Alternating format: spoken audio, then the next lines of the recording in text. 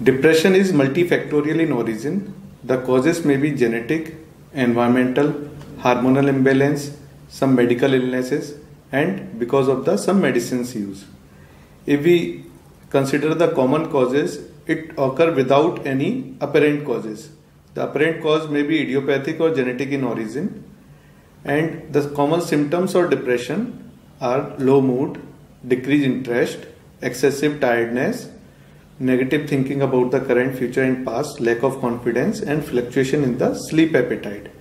And because of these symptoms, patient personal, social, and occupational life get affected. If the symptoms are very mild, that patient is able to do all his routine activity in spite of the symptoms, then we consider as a mild depression.